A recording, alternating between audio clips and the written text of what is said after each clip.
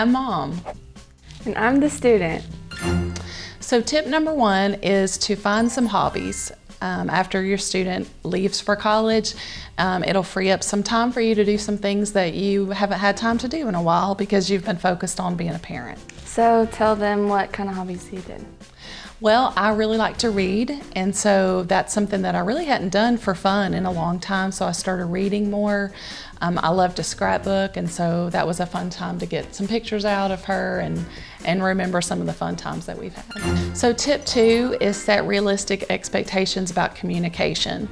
It was really helpful for us to share that we wanted her to come home um, one weekend per month because we knew we'd be missing her.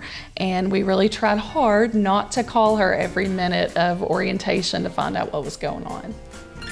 Tip number three is to stay informed about as much as you can on campus. There's a lot of good uh, social media accounts.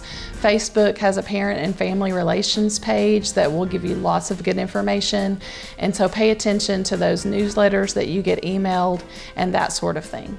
Tip number four, let your students solve their own problems. It's really tempting to want to swoop in and fix things for them, but it's really a good time for them to develop that independence and learn to solve their own problems.